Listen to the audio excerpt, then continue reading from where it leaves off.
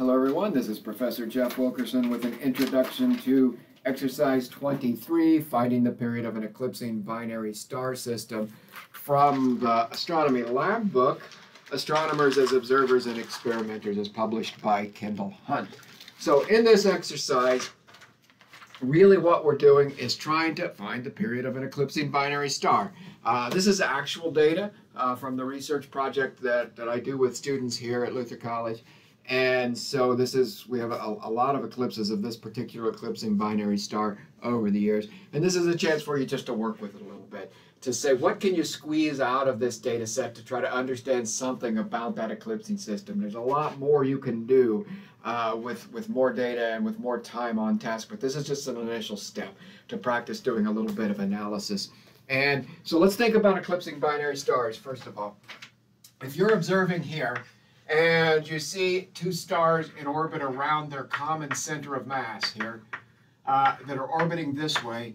Uh, if they're right in the plane of the board, as we've drawn like this, you will see one pass in front of the other from your point of view, and it will block some of the light.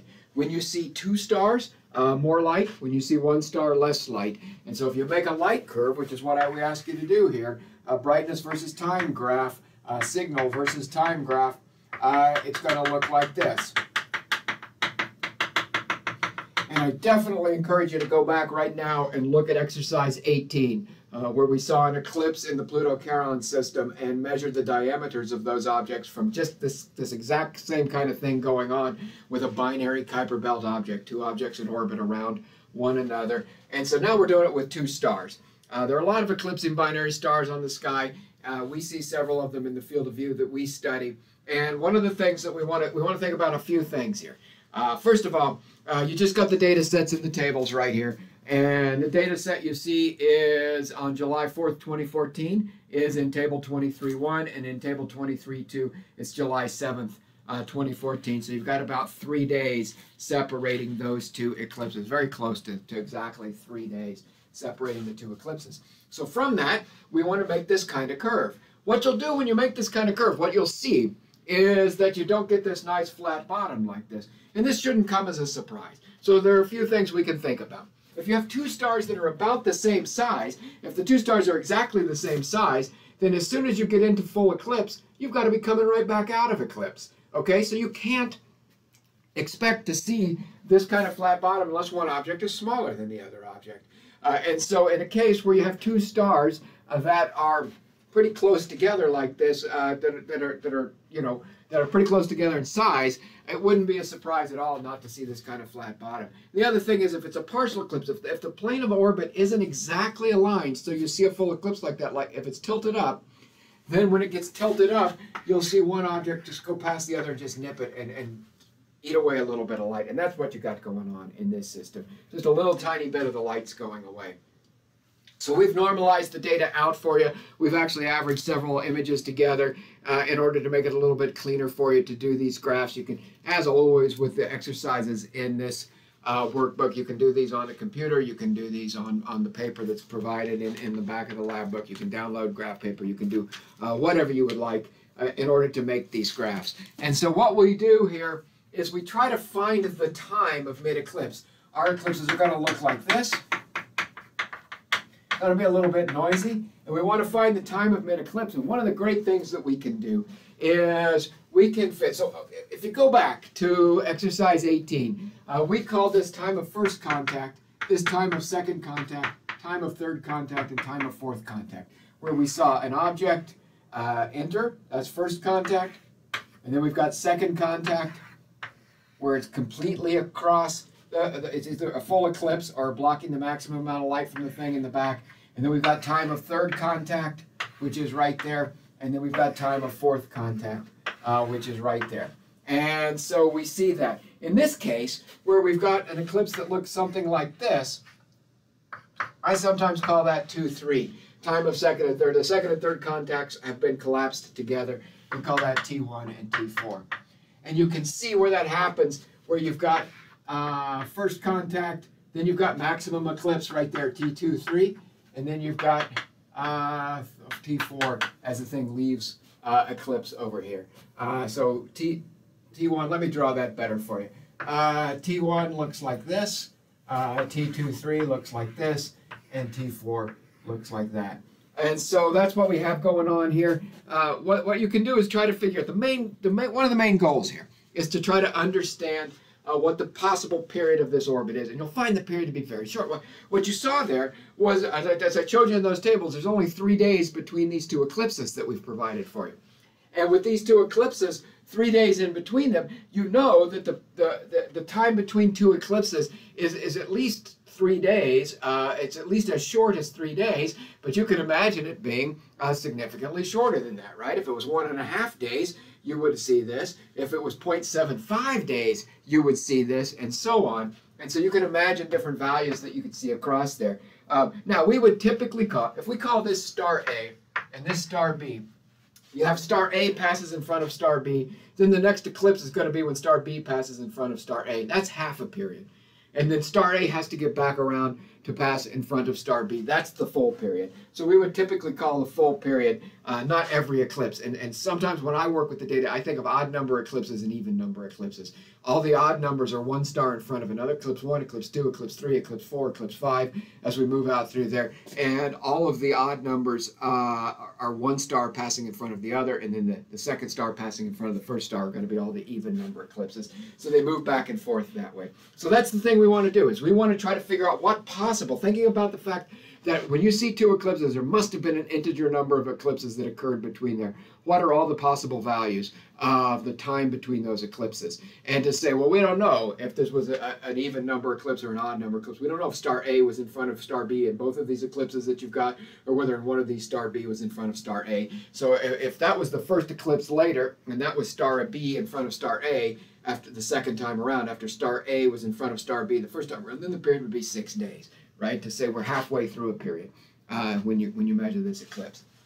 So this is a good chance to work on this. Uh, good chance for you to practice fitting lines. You can do this with uh, by hand. You can do this with the computer, where you've got these what I call ingress, and you've got egress, and you want to average those out with a line, and where those two lines cross, that's going to be your time of T23. And if you got two times of T23, you can probably measure those pretty precisely and get uh, the time between two eclipses like this and try to figure out what your periods must be looking at this thing. So this is this is what we're working on now. Uh, you can also get T1 and T4, and that's going to give you the duration of the eclipse. Now, these very short period eclipses, short period eclipse in binary systems, we would expect them to be circularized. We would expect them to have no eccentricity in their uh, orbits at all. But if they do have eccentricity in their orbits, then when one star passes in front of the other star, uh, you might see that. Suppose it depends a little bit on what the orientation, depends a lot on what the orientation of that orbit is.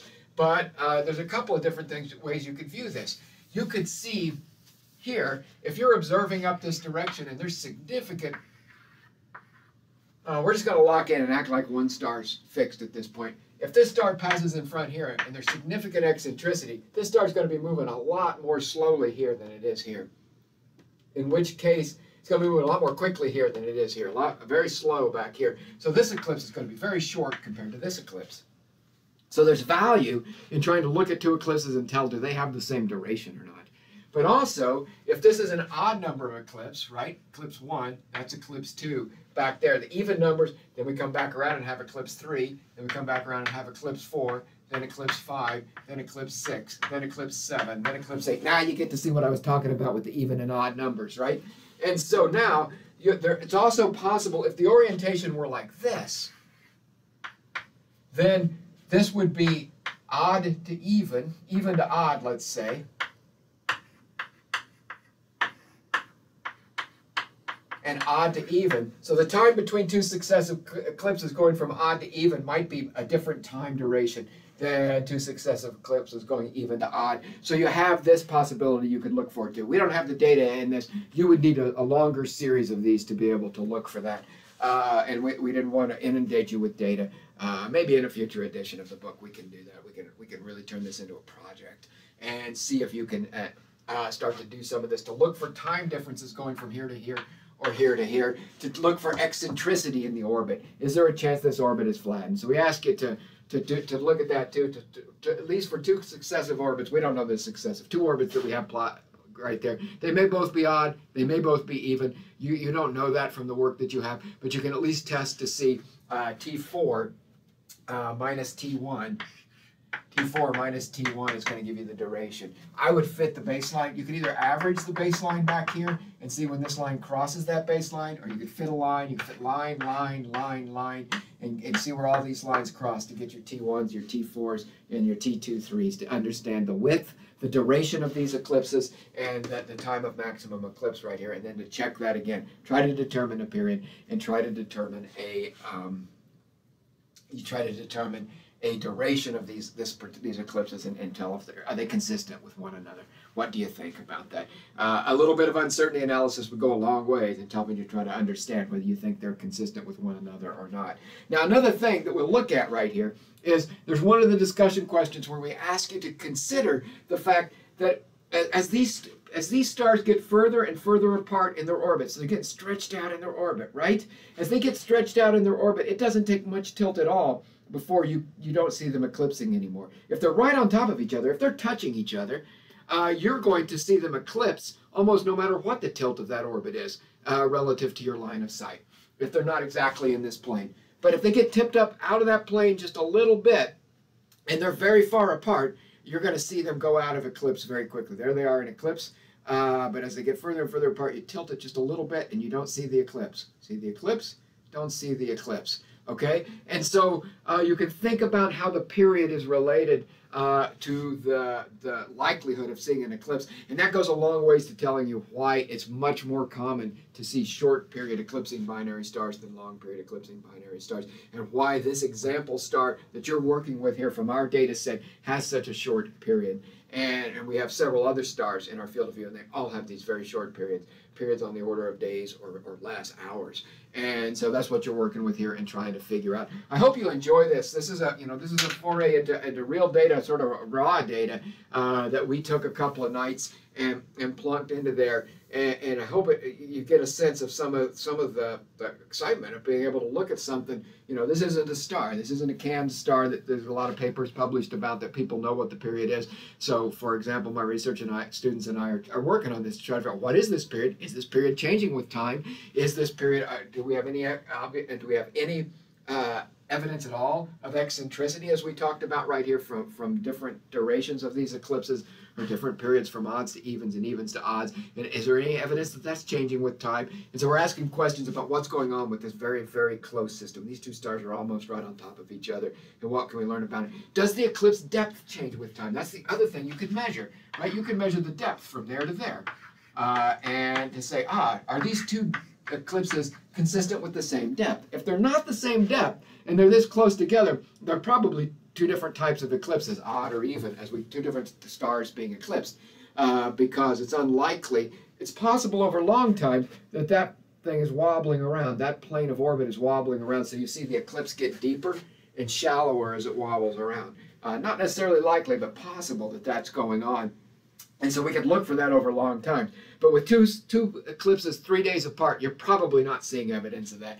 And if you see different eclipse depths, you're probably seeing the, um, uh, the effect of two different stars uh, being eclipsed. Now, two stars right on top of each other like that, you might expect them to be the same temperature, and you might expect them uh, to not have different depths like that. And so this would be interesting stuff if we find that. So, so enjoy going to look for this sort of thing. Think about how you could turn this into a project. Imagine a research project where you've got hundreds of these eclipses stretching over decades. And you can turn this into a project where you could really start to study and understand something about these stars. And, and do we see these stars evolving? Do we see mass moving from one star to another star, which would change the orbital period? Do we see something else changing the orbital period? Do we see that orbital axis uh, uh, wobbling, like we just talked about? These sorts of things. Good luck with it, everybody. I hope you enjoy it. I, I, I enjoy working with this kind of data, and, and it's a good little exercise to practice some, some really important skills for the astronomer.